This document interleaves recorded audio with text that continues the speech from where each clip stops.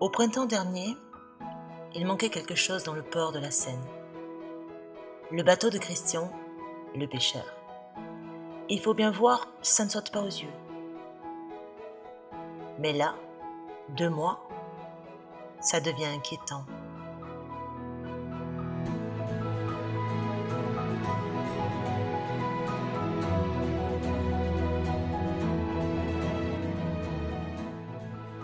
On s'interroge, on se renseigne. Et puis, on retrouve Christian sur le port de Saint-Elme, non loin de là. Son bateau est au carénage.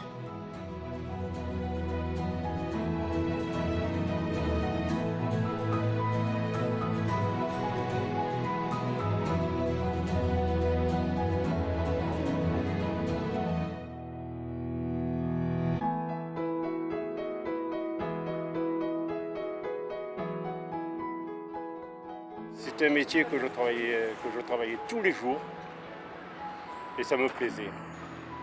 Au chantier, je ne supportais plus le sifflet, marcher au sifflet, rentrer à telle heure, à telle heure.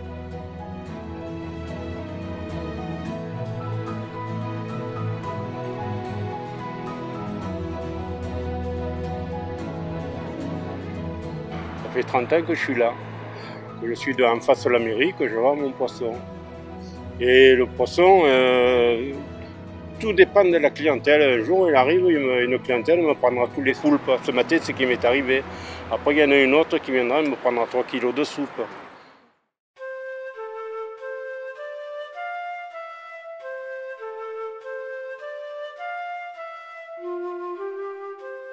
Il est bientôt 5 heures du matin. Nous allons rejoindre Christian.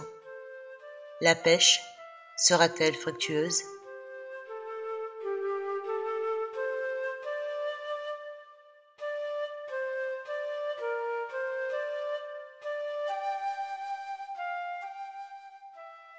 De tout temps, l'homme a cherché à se nourrir des produits de la mer.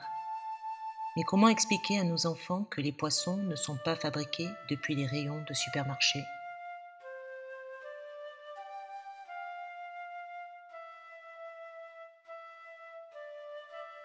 La pêche industrielle a supplanté la pêche artisanale de nos ancêtres, nous faisant presque oublier qu'il reste des pêcheurs irréductibles, passionnés, qui malgré la difficulté du métier se lèvent la nuit pour poser leur filet.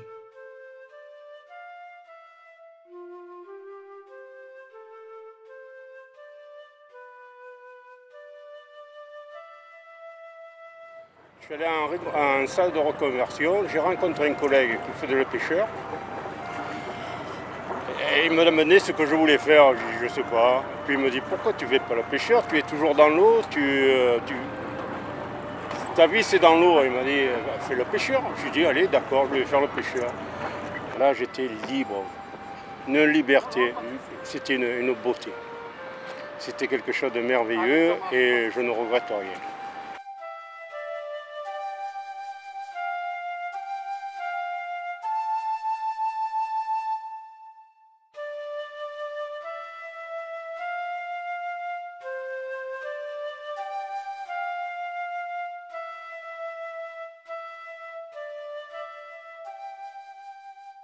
Entre Toulon et Saint-Mandrier, les derniers pêcheurs sénois se partagent un domaine maritime prisé.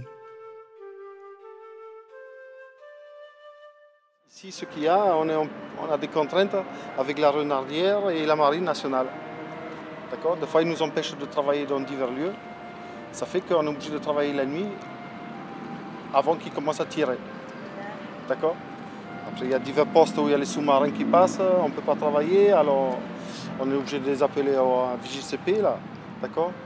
On se renseigne s'il y a des tirs, s'il y a des sous-marins, s'il y a des travaux, voilà.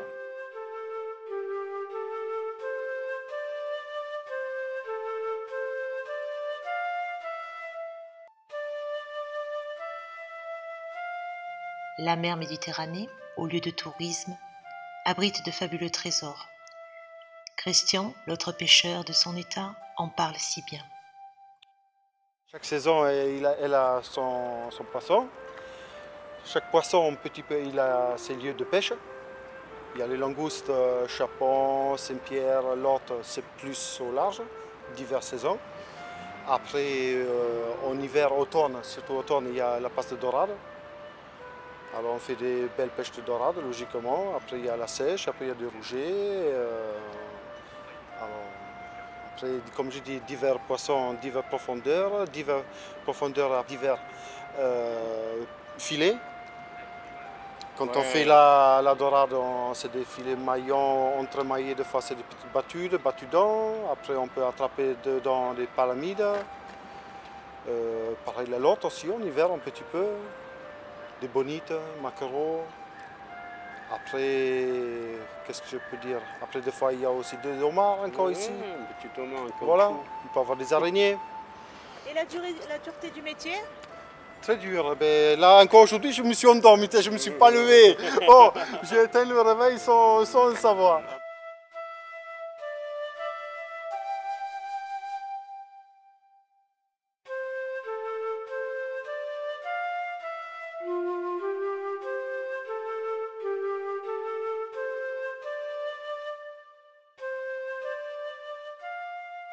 Aujourd'hui, la pêche n'a pas été bonne, mais Christian s'en contente. C'est la loi de la nature. Pendant combien de temps encore verrons-nous ces hommes dont on dit qu'ils sont des pêcheurs justes, qui ne font pas la radia, mais qui pêchent juste le nécessaire pour s'assurer un revenu suffisant?